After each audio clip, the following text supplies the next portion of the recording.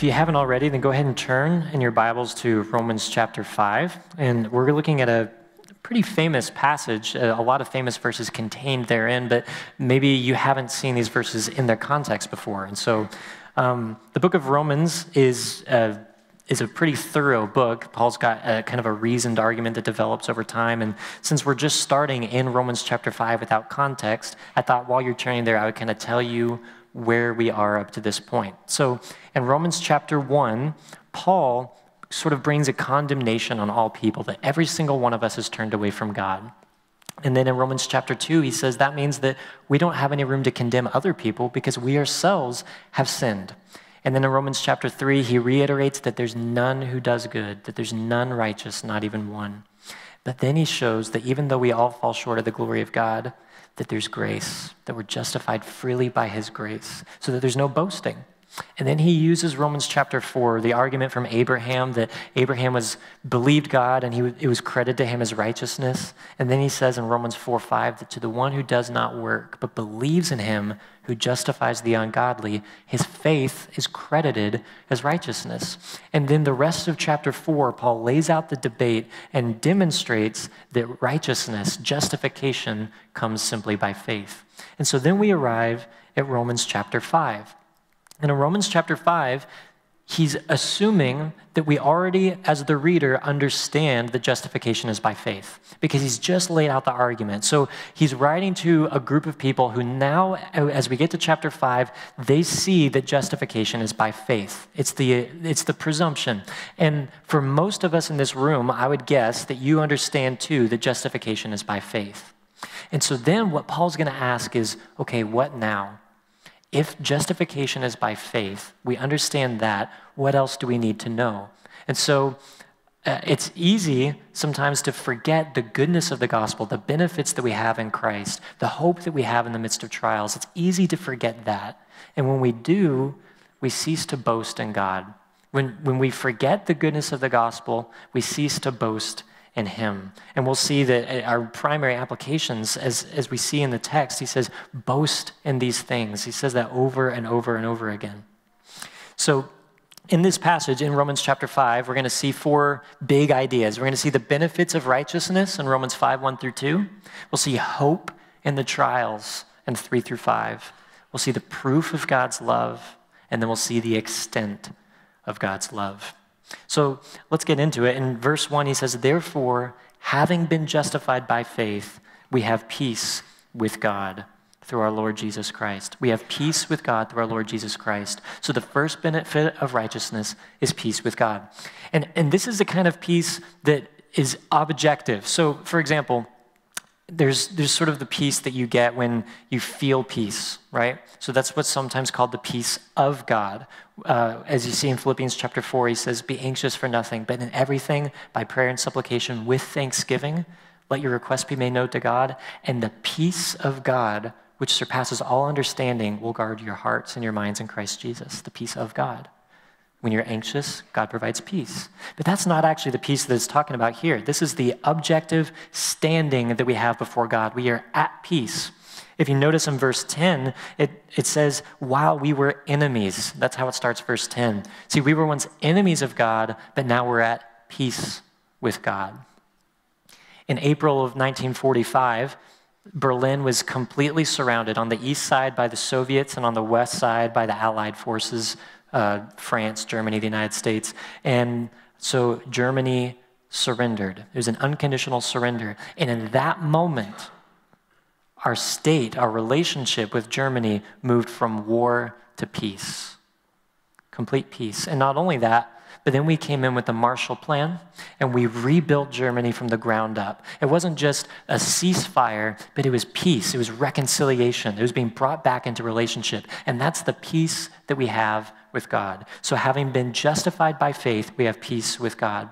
So, notice that there's the assumption that we already know that we've been justified. He says, having been justified by faith, we have peace with God through our Lord Jesus Christ. It is only through Jesus Christ that we receive justification. Justification simply means to be declared righteous, that the moment you believe in Him, He looks at you and He declares you righteous. And that comes through Jesus Christ. There's no other name under heaven by which we might be saved. He is the way, the truth, and the life. And no one comes to the Father except through Jesus Christ. Through him, we have peace with God. But furthermore, we also see that we have access into grace. So if you notice, um, if you're reading out of the NASB like I am, it says, uh, verse 2 through whom also we have obtained our introduction by faith into this grace in which we stand. But if you're reading out of any other translation, it probably says access, yes? And so I actually really like that translation. I like the, I think it is a good representation of the word. So, through whom we also have obtained our access or our introduction by faith into this grace in which we stand.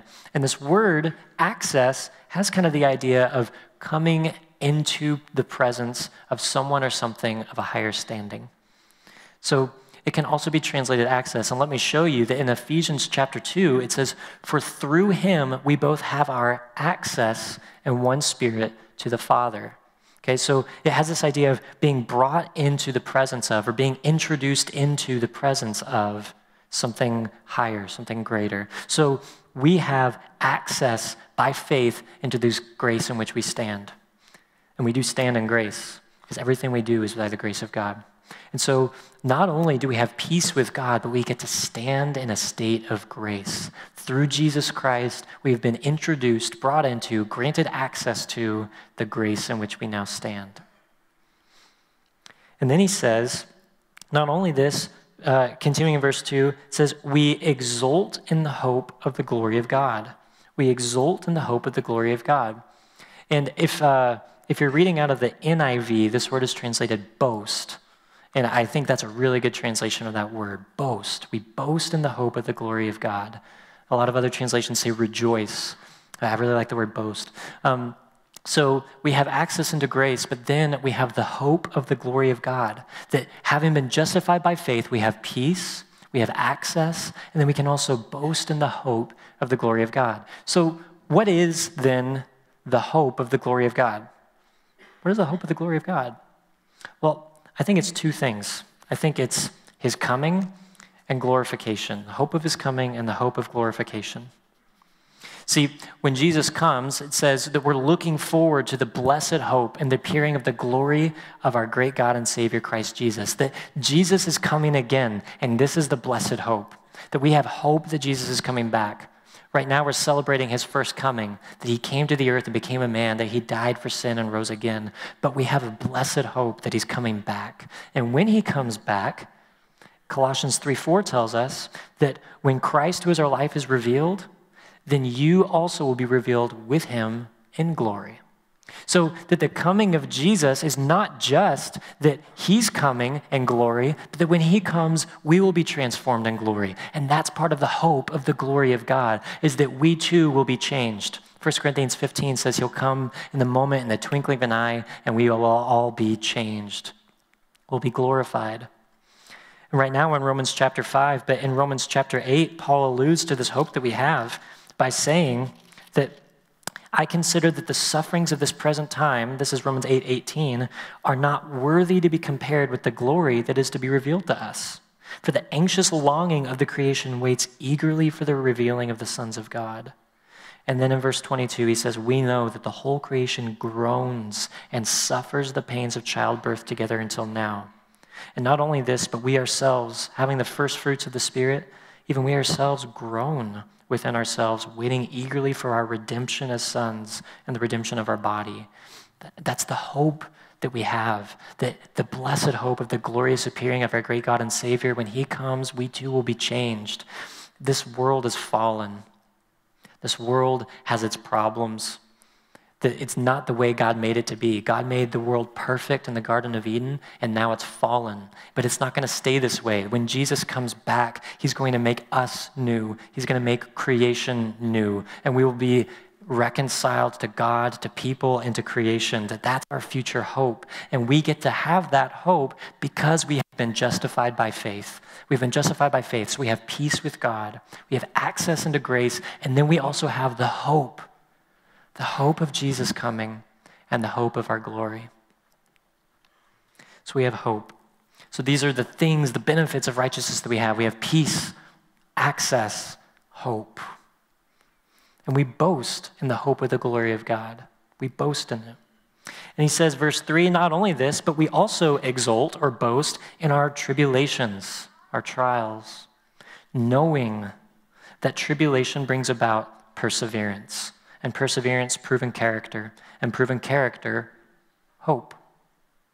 And hope does not disappoint because the love of God has been poured out within our hearts through the Holy Spirit who was given to us. So we see that we have hope in the trials. We have hope in the trials. And the first thing that we see is that we have perseverance. The trials actually produce perseverance. And, and the perseverance produces character, proven character. Our proven character produces hope. So the word perseverance has this idea of to remain under, to remain under.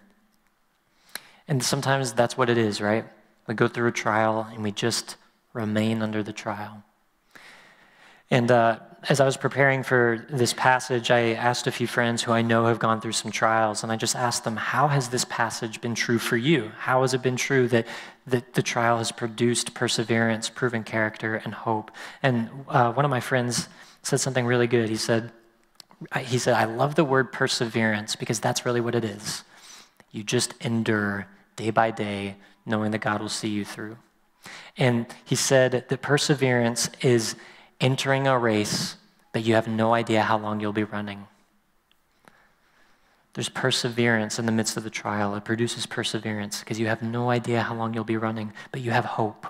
And so we exult, we boast in our tribulations, knowing that it brings about perseverance. And the beauty of the trial is that the perseverance that it produces, you can then, in the next trial, run a little longer because it produces perseverance. And the perseverance, proven character, and proven character, hope. This word proven character has the idea of testing and refining. That when you go through trials, you're being tested and refined. It has the idea of being examined. And that as you go through the trial and it produces perseverance, you're tested and your character is proven. And then finally, there's hope. This word hope means eager anticipation, and it does not disappoint. And in the midst of our trials, there are a number of hopes that do disappoint, yes? I hope my dad comes to this baseball game because he hasn't come to any of my games this season, right? I hope I'm not affected by the upcoming layoffs. We have all these hopes that disappoint. But this hope does not disappoint. Why? Because, verse 5, the love of God has been poured out within our hearts through the Holy Spirit who is given to us. God shares his love with you through his indwelling. The, the holy God indwells you. Every single person who's put their faith in Christ is indwelt with the Holy Spirit. And it says that your body is a temple of the Holy Spirit who is in you, whom you have from God. Therefore, glorify God in your body. So you have hope and you have love because God has poured out his Holy Spirit within your hearts. So um, hope does not disappoint because ultimately the Holy Spirit is actually the down payment of glory. So let me show you this. In Ephesians chapter 1, he says, In him, that's in Jesus Christ, you also, after listening to the message of truth, the gospel of your salvation, having also believed, you were sealed in him with the Holy Spirit of promise, who is given as a pledge of our inheritance with a view to the redemption of God's own possession to the praise of his glory. So the Holy Spirit who's been poured out in your hearts is actually a down payment that God says there's more coming. You think you stand in grace now? You've been introduced in the grace in which we stand. He's poured out the Holy Spirit in your hearts as a promise of more to come. He's the down payment and that produces hope because we know that it's not just this, that in the midst of our trials, this is not what we're destined for. He also says in 2 Corinthians 1:21, he says, "Now he who establishes us with you in Christ and who anointed us is God, who also sealed us and gave us the Spirit in our hearts as a pledge." So the Holy Spirit is a pledge of the glory of the future. And so we have in verse 2 the hope of the glory of God, but then in the midst of the trials, that hope of the glory of God, that future hope, gives us hope in the present. So having been justified by faith, we know what God's done for us in the past. and the Holy Spirit being the down payment of our future glory, we know what God's going to do in the future. That gives us hope in the present. So, not only this, verse 3, we boast, we exult in our tribulations, knowing that it brings perseverance, proven character, and hope. Boasting in trials, boasting in tribulations is not the same as celebrating them, right? It's not the same as being happy about them. And I think oftentimes we think that we're supposed to be happy in the midst of our trials. But that's not what it says. It says, boast in the midst of your trials. Boast in what God's doing, knowing that He's redeeming the trials. God, God does not desire your pain, except that He desires your refining, your proven character. And even when you look at the, the trials of Lazarus passing away, he passed away and his friends are sad. Jesus wept. Even though he knew he was going to work that trial for glory, he still wept. And when we're in the midst of our trials, Jesus weeps with us. It's not saying that we're supposed to be happy in the midst of our trials, but that we're supposed to boast because we know that God will see us through. And how many of us have been through trials where God took us through, and on the back end, we can look back and say, Look what God did. And we can boast in that. And it's a testimony to the rest of the world of how good, how good and great our God is. And so, knowing what God has done for us in the past gives us the confidence to boast in the present. You may be in the midst of a trial right now and you think, how in the world can I boast? But you boast because of what he's done in the past, and you know what he'll do in the future. You trust his promises, and you have a hope that does not disappoint because the Holy Spirit, the love of God, has been poured out in your hearts through the Holy Spirit. So, then in this next section, we see that sometimes we don't feel the love of God. You might be asking, what if I don't feel God's love in the midst of my trial? You're telling me that I have, I have hope in my trial, but I don't, I don't feel the love of God. You're telling me the love of God has been poured out in my heart to the Holy Spirit, but I'm in the midst of some real tough stuff, right? You don't know what I'm going through, and you're telling me that this is the love of God poured out, that I have hope in this? What happens if I don't feel the love of God in my trial? Well, he shows us the proof of his love, the proof of God's love, that even if you don't feel God's love, the Holy Spirit in your heart, even if you don't feel what God is doing in the midst of your trial, while we were still helpless, verse 6, at the right time, Christ died for the ungodly. For one will hardly die for a righteous man, though perhaps for the good man, someone would even dare to die. But God demonstrates his love toward us in that while we were yet sinners, Christ died for us. While we were sinners, Christ died for us. So notice verse 5 says, The love of God has been poured out. Verse 5 says, It's true. God loves you, and He's poured out that love on you through the Holy Spirit. But then in verse 8 it says, But God demonstrates His love, and that while we were yet sinners, Christ died for us.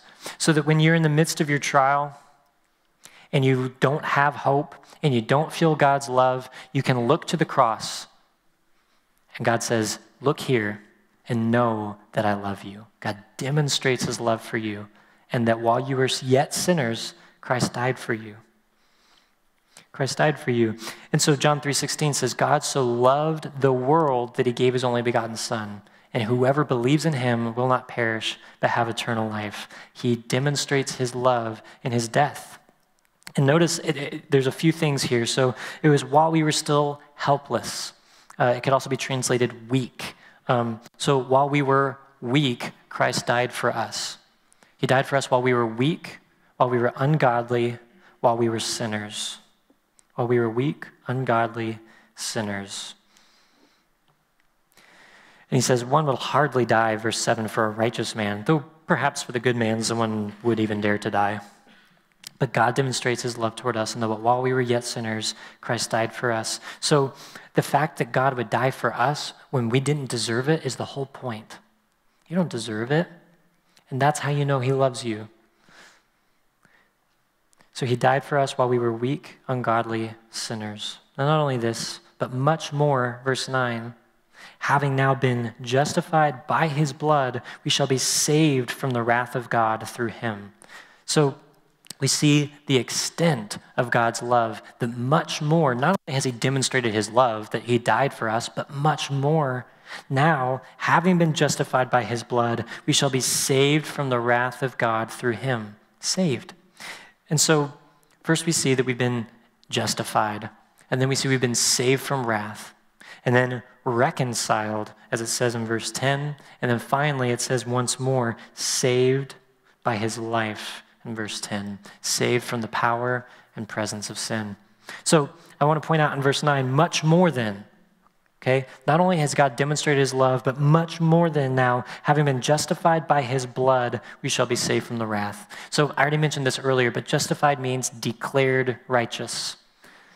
That when God looks at you, he says, righteous, because Jesus Christ is in you. You've been justified. You've been declared righteous. And like I said in, in verse 1, we already have this assumption that we have been justified by faith. So we've been justified, we've been declared righteous. And it says by his blood, because Jesus' death, Jesus' shed blood is the basis of our justification. In other words, if he had not died, we could not be raised to life, right? So when we put our faith in Jesus Christ, we have eternal life because Jesus died on the cross. So not only does his death on the cross prove his love for you, but it also allows you to be justified by faith.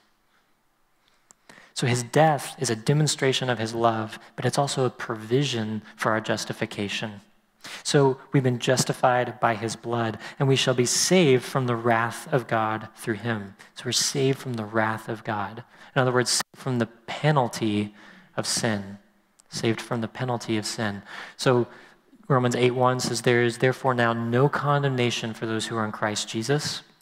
John 5:24 says, Truly, truly, I say to you, he who hears my word and believes in him who sent me has eternal life and does not come into judgment, but has passed out of death and into life, does not come into judgment. So we've been saved from the wrath of God because we have put our faith in Jesus Christ. So, much more than having now been justified by his blood, we shall be saved from the wrath of God through Jesus Christ. We are declared righteous and saved from the penalty of sin. But then he says that we have a restored relationship with God. Notice verse 10 For if while we were enemies, we were reconciled to God through the death of his Son, much more, having been reconciled, we'll be, we shall be saved by his life. So we've been reconciled to God. And reconciliation is a restoration from hostility to harmony between two parties. It's, it's a restoration from us, with, with us to God. So we've been restored in a relationship with God through Jesus Christ. 2 Corinthians 5.18, now all of these things are from God, who reconciled us to himself through Christ and gave us the ministry of reconciliation. So I, I mentioned a while ago about uh, World War II. As it ended, we became at peace with Germany. But I want you to think about another war for a minute. I want you to think about the Korean War.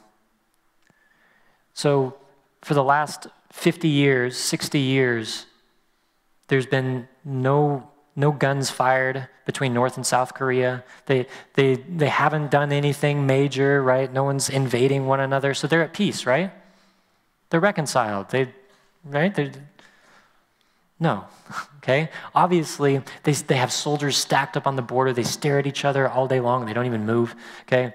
And that's not peace. And oftentimes, we have this idea that by having peace with God, that, that it's just neutral. God says, okay, I'm no longer upset. Have a good one.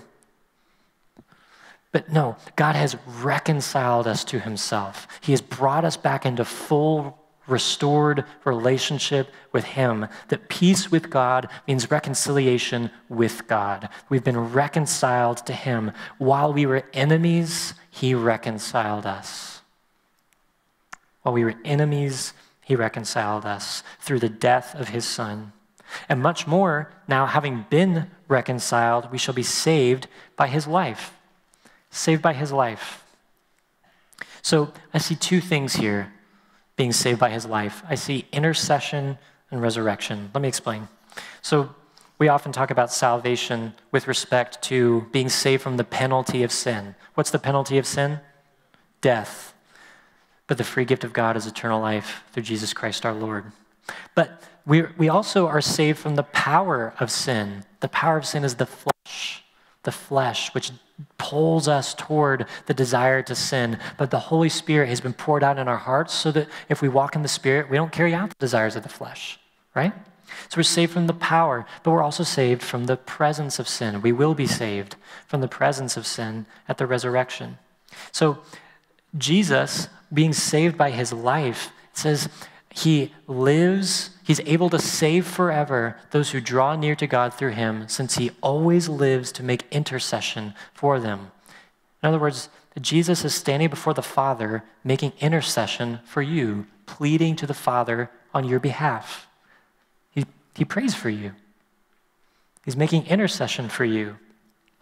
And so we are saved by his life, that he lives forever making intercession for you. Like the old hymn, Before the throne of God above, I have a strong and perfect plea, a great high priest whose name is love, who ever lives and pleads for me. Comes from this verse. So then he says, We were reconciled, we shall be saved by his life. Um, but, but there's also the resurrection. So in 1 Corinthians 15, he says, But now Christ has been raised from the dead the first fruits of those who are asleep. For since by a man came death, that's Adam, by a man came death, by a man also, that's Jesus, came the resurrection of the dead.